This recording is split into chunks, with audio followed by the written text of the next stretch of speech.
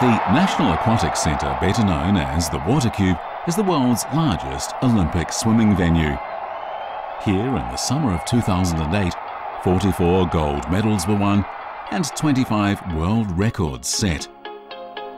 Now it's being repurposed as the Ice Cube, the curling venue for the 2022 Beijing Winter Olympics.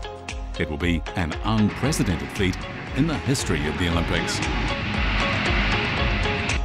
This is the bottom of a swimming pool.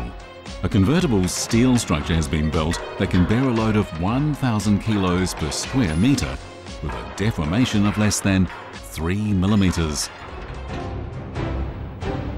The 2,680 steel frames support all the weight above, which is essential for turning the swimming pool into a curling venue.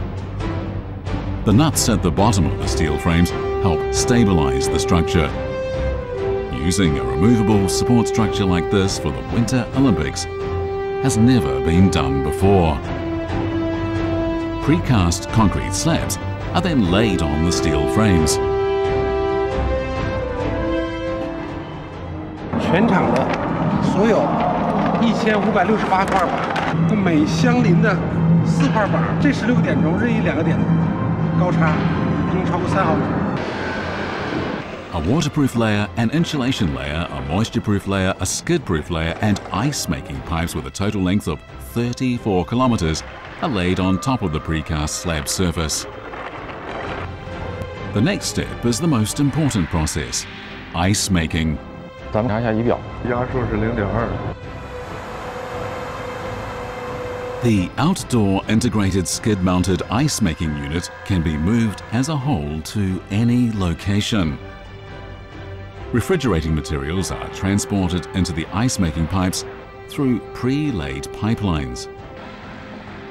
The ice-making pipes are carefully watered 40 to 50 times, forming a 2 millimeter thick ice layer each time.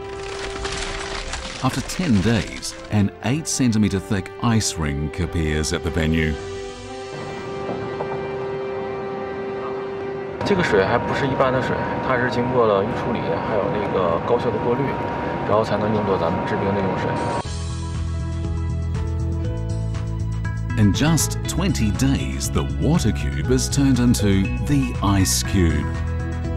All the components of the ice making process can be disassembled at any time, like building blocks.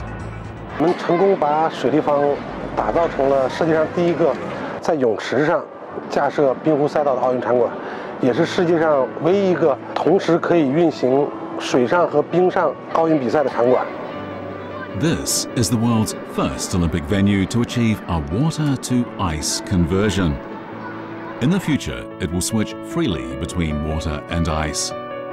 A blue water cube will be turned into a white ice cube as part of China's efforts to hold a green Olympics.